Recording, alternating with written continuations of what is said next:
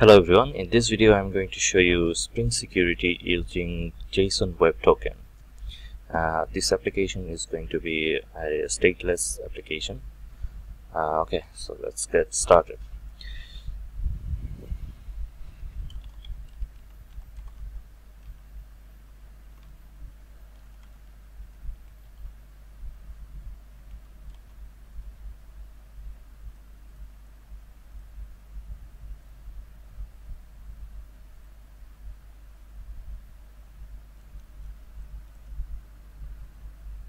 I'm going to be creating this application from scratch so many of the steps are going to be familiar if you're following my other tutorials.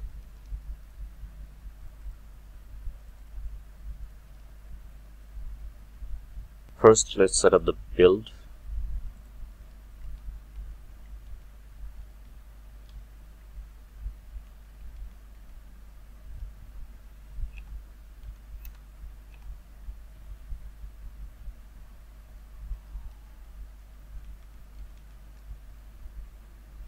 next let's add the dependencies we need.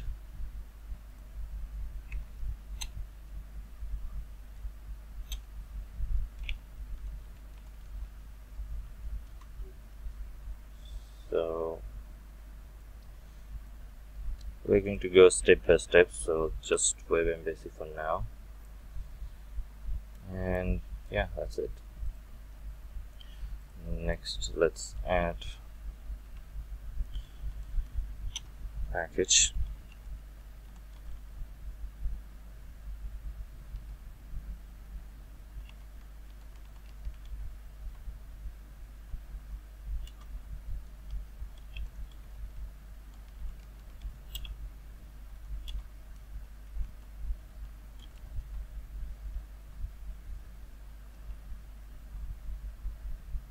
I'm gonna copy paste some code I have written previously I haven't created this not this. And for now let's just send success.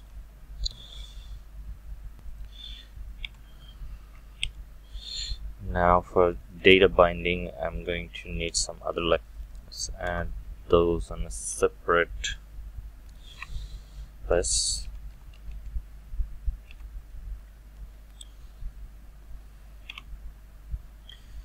okay now let's add the configurations.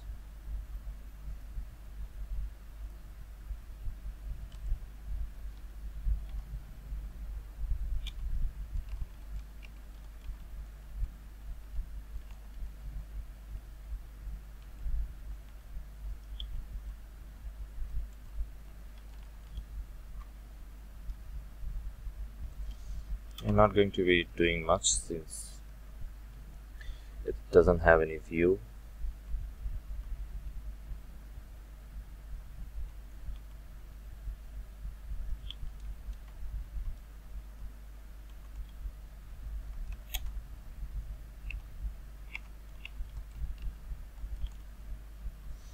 That's it.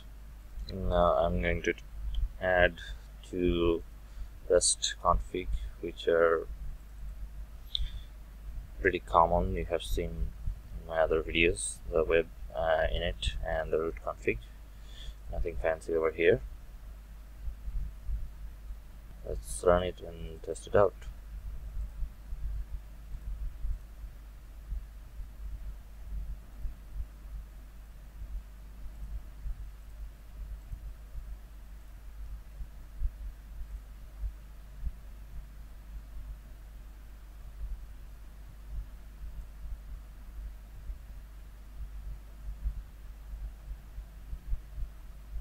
now let's open up the postman to test it out. Okay some post is fine. It's going to be a get. Okay. So the application works. Now let's add the database. First let's add the dependencies. So let's make another block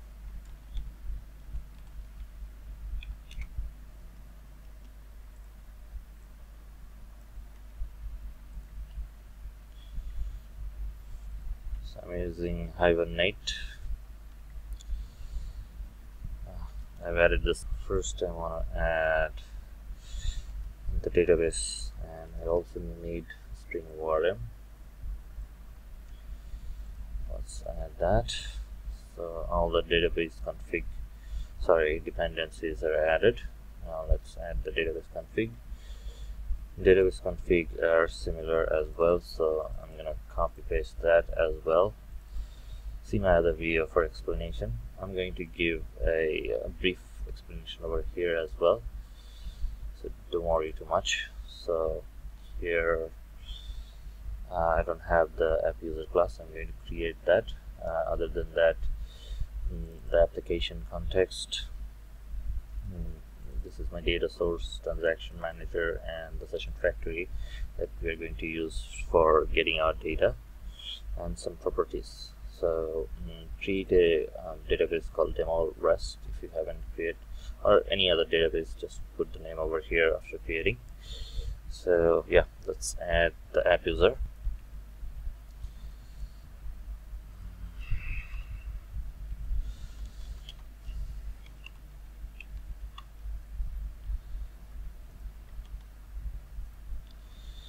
So this is my app user simple ID username password and authorities nothing fancy and the getters and setters and entity tag. Next let's add the services. So services are also pretty simple. So load user by name post get patch delete which we are not going to be use all of this and here are implementation session factory we're using the user Hibernate stuff. Nothing fancy over here. Now let's test this out in the home controller. So I'm going to bring the old code back. Yeah. Now let's add the database over here. Get okay I forgot the database name so let's add upgrade that and then add it. Mm, database added since the connection is okay. Uh,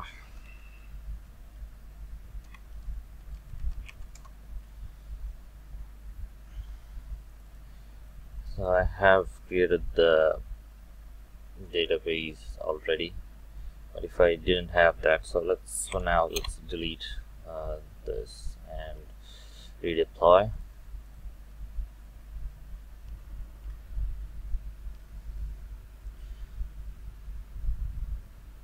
so yeah you get the table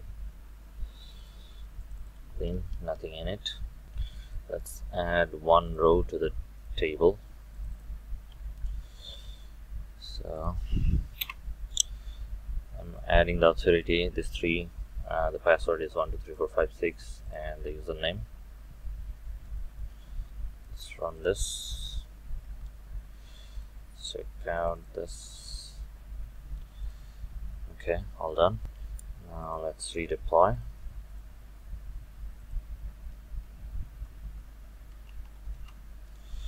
So should be getting this since I'm getting this user using the service. So let's open the postman and what is it? A get request okay. Uh, get request anything else? No nothing else. So yeah. So yeah I get the information from the database. So database configuration is done. Now let's add the security for adding security. Let's first add dependencies. Uh, here are my security dependencies. Nothing much. Web config and jjwt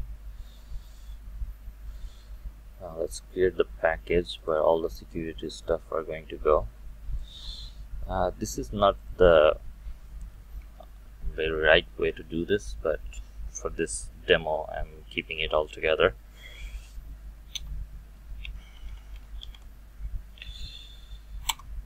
okay so first let's add the security config.